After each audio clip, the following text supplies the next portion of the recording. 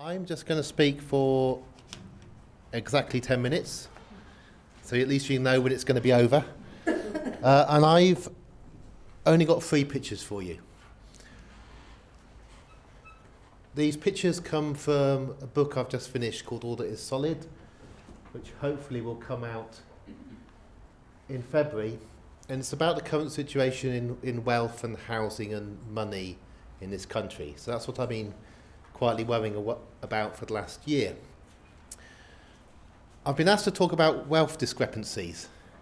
And I think in the current context, uh, discrepancy is, is a very odd word, really, for where we are currently at. But it kind of shows the politeness that we now have over what you're allowed to, to call the huge inequalities that we, we've now got to, which Anne is right, they're not yet as great as they were in the 19th century or at the peak, which was probably 1913. But that is the direction in, in which we are currently heading. Uh, I'm a geographer. Uh, geography is an extremely broad church. Uh, Ash Amin is, is a geographer who talks about people bumping into each other. Uh, I think you had Paul Chatterton this morning, um, who's a geographer trying to build new utopias. And at the other extreme of geography, can anybody guess what the most likely occupation for a geography undergraduate is to gain? Oh, banker, banker. We, we produce the bankers. Uh, and we don't teach our students that well how to add up. Um, but if any of you are feeling uh, slightly concerned about the fact that you might be people who, if you're architects who are serving people with lots of money, as a geographer you can feel even worse in that you are helping to create a few people who end up actually building up wealth inequalities. Yes. Eight percent. Very, very serious accusation. Mm-hmm. Eight percent. I won't put my discipline down any further, save to say we're kind of the favourite discipline of all family. Um, when they can't do fine art. Um, and this links to one other thing I wanted to talk about today, uh, which is elitism. And particularly given that the Mayor of London has helpfully helped us into this particular discussion about elitism and a way of looking at society that I think is commonly held by people at the top. It's just that most of them know not to say it. Uh, Nick Clegg, was it today? Nick Clegg got very angry with Boris today because he called his, his words about the 2% being geniuses and 16% basically being subnormal. He called it careless elitism, which suggested to me that careful elitism is that you don't tell the lower orders that you think they're trash um, and you'd be nice to them because you need their votes and so on. But really, society is about the 2%. And although this may sound a bit trite, when you look at how people are housed, or you look at how much wealth they've got, or you look at how much effort is put into the architecture of their homes, then there's certainly a lot more money spent on the homes and the time of the 2% that Boris was talking about than the 16% that he thought we were wasting our time over. My first image. If you've got very good eyesight, you'll see that that's a free car, car garage. The building on the left, the, the wing on the left of the house, with those lovely windows, are windows for a car or three cars to look out from and to use. I, I think of this particular residential home as the architecture of the financial crash. Uh, the floor plan appeared for the first time in a book published by Robert Frank, who's an economist in the US, who gave a lecture in 2001 about the problems of the middle class in America and how the middle class were constantly trying to buy their way up the better areas, the safer schools, the bigger houses, and everybody else was following them. And this was going to lead to trouble. Uh, Robert Frank was far from an extreme left wing economist. Robert Frank was the co author with Ben Bernanke of the major economic textbooks that sell the best in the United States. So, at the top of American society, before the crash, people were well aware of the direction in which they were going and what was happening. If people do start to think that they need homes like that and wings for their cars like that, but they didn't know what to do about it, they didn't know how to stop it, but they were aware it was happening. My second image for you is of skyscrapers. Um, this is the number of buildings that have been built a year and are still standing that are over 256 metres tall in the world. Um,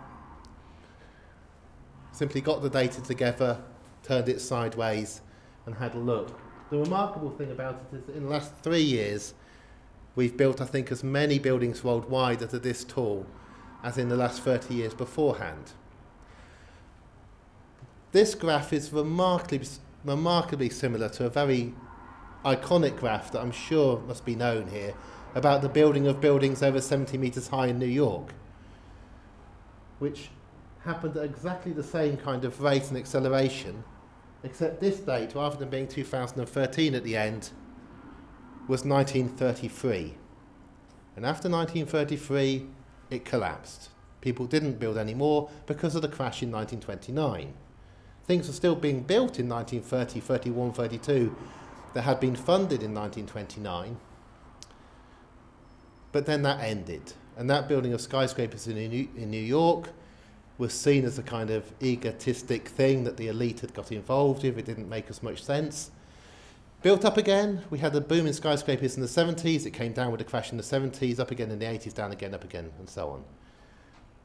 There's absolutely no guarantee that this worldwide trend is going to crash like New York crashed in 1933.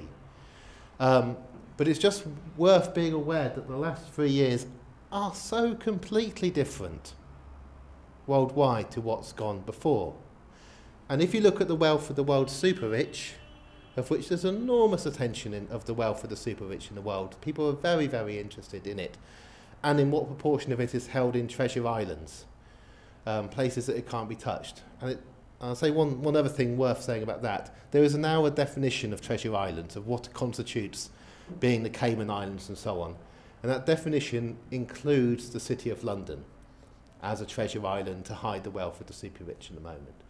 Um, worldwide, if we carry on having a tiny proportion of people holding more and more of the world's wealth, you're likely to see more vanity projects, I think, occur but whenever we've got to this point before, whether it's been within a country or more generally, it hasn't been possible to sustain it. And I think it's, it's worth holding on to that.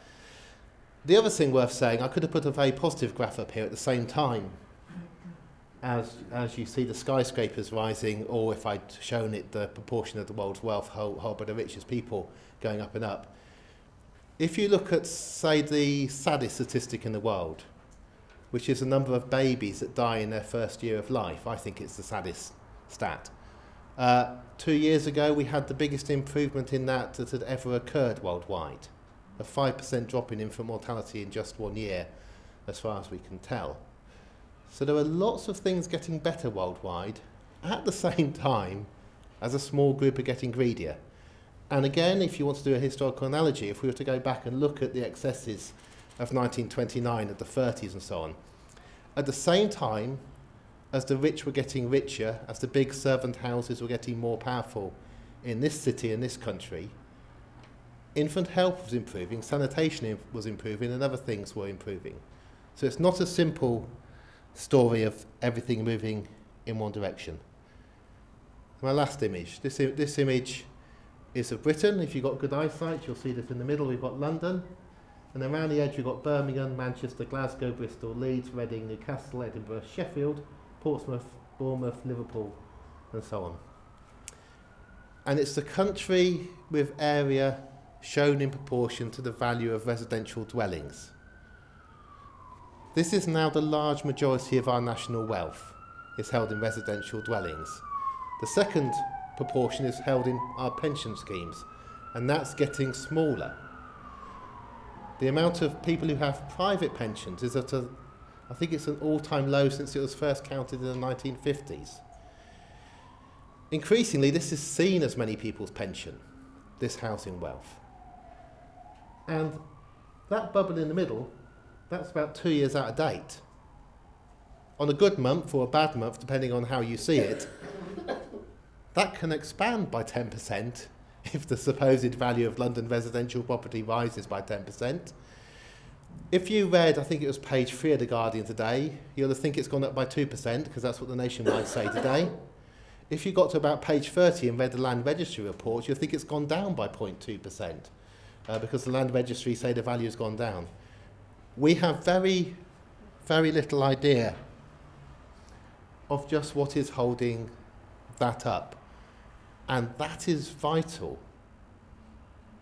to what happens in this country. That is why people from India and from Ireland, just a few people from Ireland now, and people from Greece, and people from China, and people from Russia, a thousand millionaires from Russia have bought into London. It's not just that they think we won't change our property laws, or that we won't suddenly introduce a decent land value tax the day after the election, which is my personal fantasy. Um, I mean, what would you do if you were the Chancellor and you were in a bankrupt country the day after that election in May 2015? That, that is holding everything together. And that is based on those properties in Kensington and Chelsea, which are now becoming more and more empty, being worth more than if they were painted in a layer of paint, which I now think would be over two millimetres thick, made of gold. That, that is the point we are getting to. And it is highly, highly precarious. The Governor of the Bank of England, the new Governor of the Bank of England, almost unilaterally announced the almost immediate end of one particular underwriting scheme in the last 24 hours because he's worried about a bubble forming and landlords essentially outbidding everybody else. I agree with Anne that private renting, more private renting would be good, but it has to be the right kind of private renting. And what we're getting now is the wrong kind of private renting. What we're getting now is landlords being able to outbid almost anybody and one in four children in Britain as a whole, let alone in London, one in four children now living in private rented housing. In London, according to some statistics, having to move once every year, which means changing schools often every year and losing all your friends every year. And this is a particular madness and something which is very, very recent that, again, I, I think can't carry on. Let me end on two positive notes for you about wealth. We became dramatically more unequal in the 1980s in terms of wealth and income. Our incomes all pulled apart. But something remarkable happened since 1991, which the IFS have only recently published and hasn't generally been understood. Since 1991, we haven't been becoming more unequal. We've actually seen a slight reduction in income inequalities since 1991 for a long time, as long as you ignore the 1%. 99% of us have seen the gaps between our incomes narrow ever so slightly, but 1% have moved away so far that the overall statistics on income inequality keep on widening. That means that if you're in the 2% or the 3%, and if you want to know exactly what this means, you're in the 1% if your income as a couple is 160,000 a year and you've got no kids. If you're below 160,000 a year, or you've got kids and only 200,000 a year, you're with us. You're all together. If what's happening is not in the interest of the 2% and the 3% and the 4%, it's very, very hard to sustain. And the last thing to say about Switzerland, and it, I mean, it comes to something when you have to look to Switzerland and to Swiss bankers as a model, but but we have to, um, because it's the nearest thing to us that's better uh, than us. The 1% in Switzerland take home half as much in pay as the 1% in Britain and still manage to run a fairly effective banking system. This is going to be realised at some point, but to realise all these things, you have to get it out of your head that only 2% of people are geniuses.